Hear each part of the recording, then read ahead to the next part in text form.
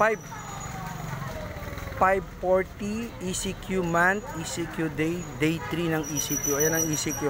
Ito, alas sa isang curfew pero 540 na ha. Ayan ho, tingnan nyo ang buhay. Maaga na ano, ibang talipapa. Nagsasara tao. Aligaga mga tao, tingnan nyo. ECQ. Day 3 ECQ, tingnan nyo tao. Ayan ho. Alas sa isang curfew. O ayan, tingnan nyo.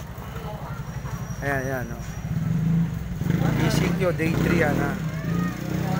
ECQ day 3. Oh, ayan. Ayan oh, tingnan niyo tao. Aligaga ang mga tao. Maaga nagsasara, ma napaka-imposible na, na ewan ko. Ba naman yan. Ah, ECQ ho. Tingnan niyo mga tao. Ayan. Ayan ah. Kalat ang tao, no? 6 p.m. ang curfew ho. 5.40 na. March 31, 2021. ECQ. O yan, tingnan niyo mga tao. Galing ka ng alin, dagat. Hindi ng mga gamot. Ayan, no? Ang kalbayog kasi may isa pang ilog na... Ayan. Ito, kalapating usapan to, kalapate. Parang alin Kalapate yan. Ito ang ECQ. Ayan, ECQ. Oh.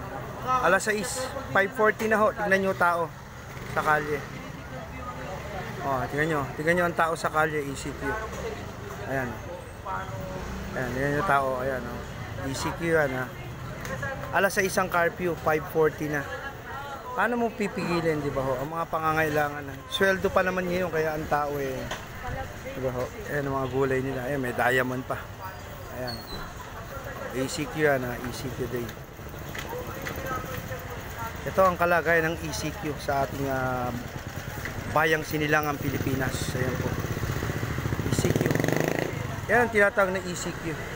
Alas sa isang curfew. Eh, napakahirap naman para ideklara mo ng ganun. Hirap po ang tao eh. Tarante.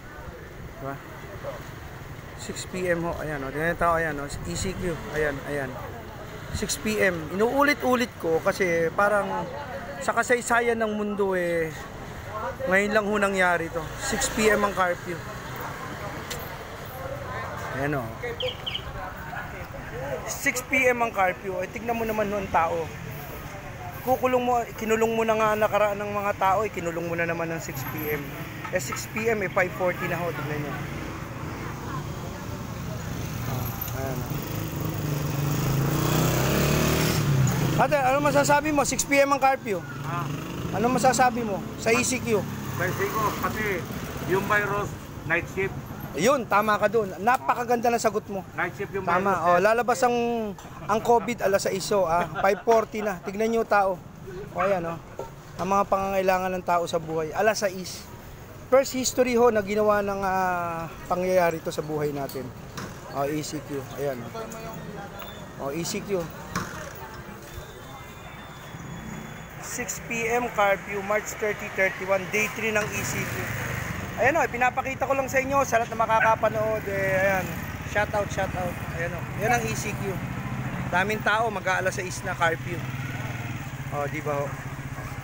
Ayan o. Sabi sa Grab, magdi-deliver ka, curfew ka. Ano dineliver mo? Lugaw. Ay, hindi naman ano yan eh. Dapat daw gamot. O, di ba? O ngayon, mamaya magdi-deliver ka pa mamaya. Ano dala mo? Lugaw, tokwa. Di ba? Eh, bawal daw pagka pagkain eh. Sabi, ano ba talaga? O, di ba? Ayan, ayan, grab yan. Naghahanap buhay yan. O, di ba? O, yan ang ECQ sa buhay natin. Para gawin mong alas 6, kulong mo na ang mga tao. Napakahirap eh, di ba? ho? Ayan. Ito pa, gulay, oh, wala na. Ayan, alas 6, curfew. Alas 6, 5.40 na. Ayan, oh. Ayan ang kalagayan dito. Ayan, oh. Alas 6, 5.40 na.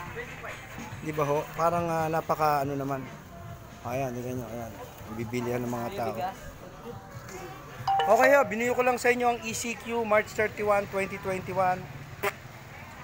Alas 6, curfew. Ayan, oh. Pinapakita ko lang sa inyo ang kalagayan. Parang, ewan ko, mahirap magsalita, magagalit ang gobyerno syempre. Kaya sumunod ka na lang, miski masama loob mo. Ganun. Yung mga halaman ko, bilhin nyo na. Ayan, mga halaman. Okay. Thank you, thank you. Bye-bye, bye-bye. Ate ako, bilhin nyo na.